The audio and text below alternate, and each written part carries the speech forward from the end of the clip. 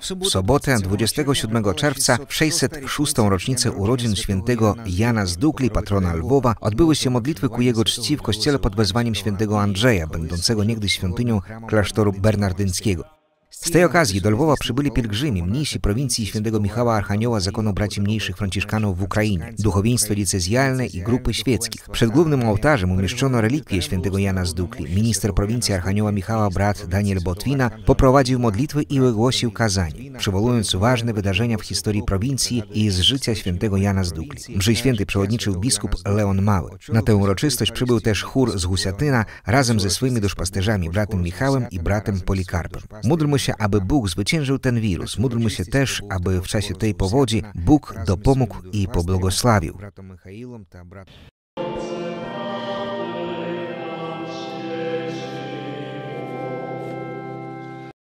Z radością odpowiadając na prośbę księdza proboszcza Mikołaja Lipitaka w obecności zebranych tutaj księży, osób konsekrowanych i wiernych świeckich chcę uroczyście przekazać cząstkę relikwii świętego Jana Pawła II dla parafii Najświętszej Marii Panny Nieustającej Pomocy. Niech ich obecność w tej świątyni będzie pieczęcią, która podkreśla jedność Kościoła zebranego wokół następcy świętego Piotra, a także jedność w modlitwie o pokój, moralny i ekonomiczny porządek w Ukrainie. 27 czerwca wierni i duchowni lwowskich parafii rzymskokatolickich na czele z księdzem prałatem Janem Niklem przybyli do nowego, obszernego kościoła Matki Bożej Nieustającej Pomocy na zboiskach w Lwowie. Obchody rozpoczęły się o godzinie 18.30 modlitwą dziękczynną. Wierni parafii wspólnie dziękowali Panu za dar nowej świątyni i piątą rocznicę jej konsekracji. O godzinie 19 uroczystej mszy świętej przewodniczył arcybiskup lwowski Mieczysław Mokrzycki. Wydarzeń ważnych dzisiejszy dzień to bez wątpienia takie wydarzenie. Bądźmy wdzięczni Bogu w Trójcy Jedynemu za to, że dał nam tę łaskę doczekać dnia, w którym łączy się historia, teraźniejszość i przyszłość.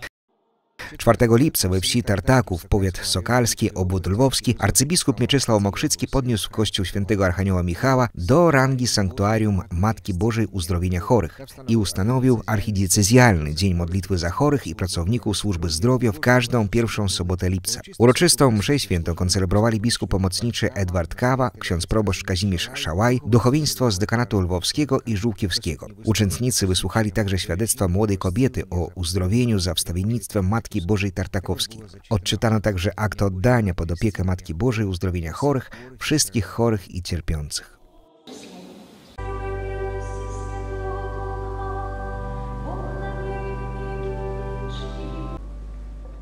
W niedzielę 12 lipca w sanktuarium Matki Bożej Bolszowieckiej metropolita lwowski arcybiskup Mieczysław Mokrzycki przewodniczył uroczystej mszy świętej. Koncelebrował z nim Mikołaj Luczok, biskup pomocniczy diecezji Mukaczewskiej. W przeddzień biskup Mikołaj uczestniczył w nocnym czuwaniu razem z młodzieżą, która przybyła do Matki Boskiej pokoju i pojednania, żeby rozpoznawać swoje powołanie. Wszystkich pielgrzymów, księży oraz osób konsekrowanych na czele z księdzem arcybiskupem przywitał proboszcz sanktuarium ojciec Andrzej Wanat. On z kolei jeszcze raz podziękował metropolicie Pospolicie za jego osobisty dar, który zrobił w zeszłym roku. Chodzi tu o obraz Najświętszej Marii Panny i dwie srebrne suknie dla tej ikony.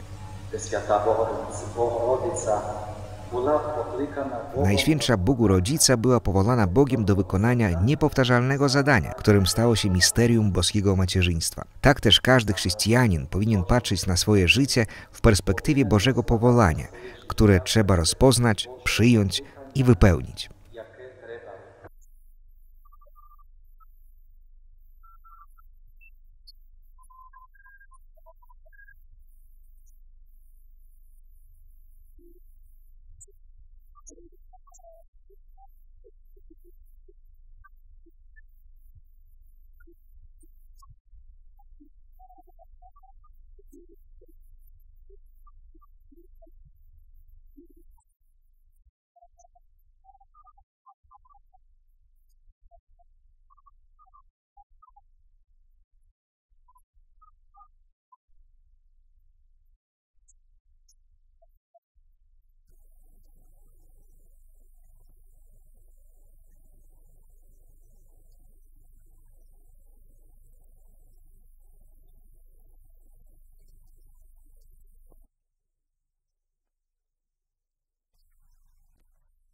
Za zwrócenie naszej wspólnocie tego kościoła, Ojcze Arcybiskupie Mieczysławie, prosimy w ten historyczny dla naszej wspólnoty dzień poświęcić ten kościół i razem z obecnymi tutaj księżmi odprawić mszę świętą. Prosimy pobłogosławić nas, żeby ten kościół był miejscem wielu łask Bożych, żeby nasza wspólnota wzrastała w świętości i liczebności.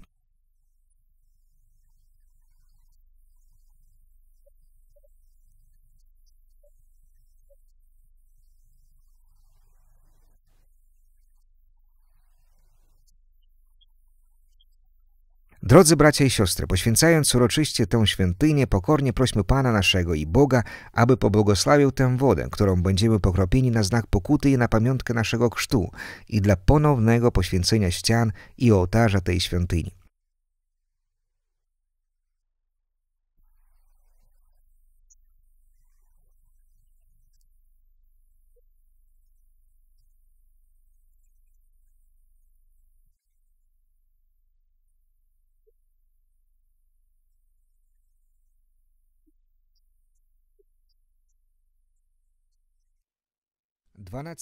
12 lipca 2020 roku w Bohorodcianach odbyła się uroczysta msza święta z okazji zwrotu kościoła parafialnego z udziałem arcybiskupa Mieczysława Mokrzyckiego. Wierni od ponad pół wieku czekali na możliwość modlenia się w swoim kościele. W czerwcu 2020 roku administracja Iwana Frankowskiego województwa zwróciła wspólnocie rzymskokatolickiej kościół nawiedzenia Najświętszej Maryi Panny w Bohorodcianach. W nabożeństwie uczestniczyli przedstawiciele różnych wyznań, wierzący z Bohorodcian i wsi powiatu. Świątynia ta nosi nazwę Nawiedzenia Najświętszej Maryi Panny. Arcybiskup zaznaczył, że od września parafia będzie miała i własnego księdza.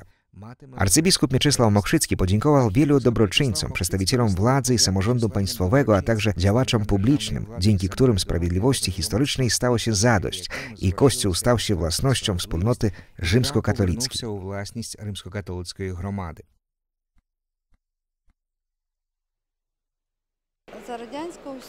Za czasów komunistycznych tutaj był magazyn zboża. Potem w 1991 roku przekazano świątynię Cerkwi Prawosławnej Moskiewskiego Patriarchatu i do zeszłego roku, do 10 lutego tutaj był Patriarchat Moskiewski. Odbywały się procesy sądowe i było orzeczenie sądowe, że powinni wyprowadzić się stąd, ale nie chcieli, dlatego też władza nalegała, żeby się wyprowadzili. To było trudne, ponieważ oczywiście nie chcieli.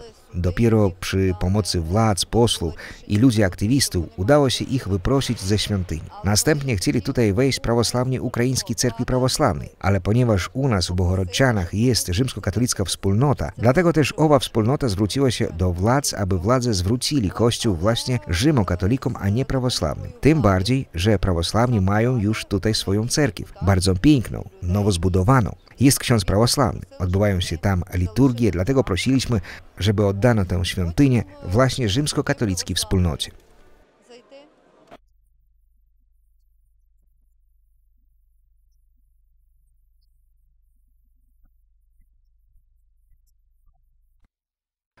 W Lwowie zbudują dom dla samotnych i bezdomnych kobiet. 19 lipca teren pod budowę poświęcił papieski jałmużnik kardynał Konrad Krajewski koncelebrze z metropolitą i arcybiskupem lwowskim kościoła rzymskokatolickiego Mieczysławem Mokrzyckim, a także biskupem pomocniczym lwowskiej archidiecezji Edwardem Kawą i duchowieństwem. Dom dla samotnych i bezdomnych kobiet będzie położony na skrzyżowaniu ulic Chlebna i Pymonenki i opiekować się nim będą rzymskokatolickie siostry Albertynki. Na poświęcenie przybył również burmistrz miasta Andrii Sadowej. Zawsze, gdy pomagamy ludziom w potrzebie, jesteśmy błogosławieni i to nie zależy od naszego wyznania, naszych poglądów. Siostra powiedziała, że tutaj powstaje dom dla potrzebujących i to dobrze.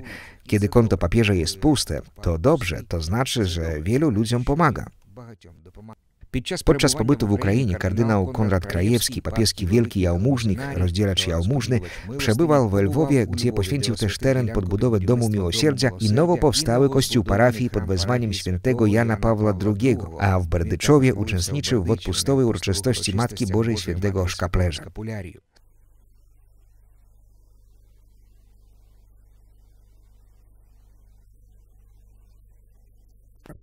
Właśnie będąc w Lwowie 18 lipca roku 2020 przedstawiciel Stolicy Apostolskiej poświęcił kościół parafialny i rodzinne centrum w Lwowie Sokolnikach.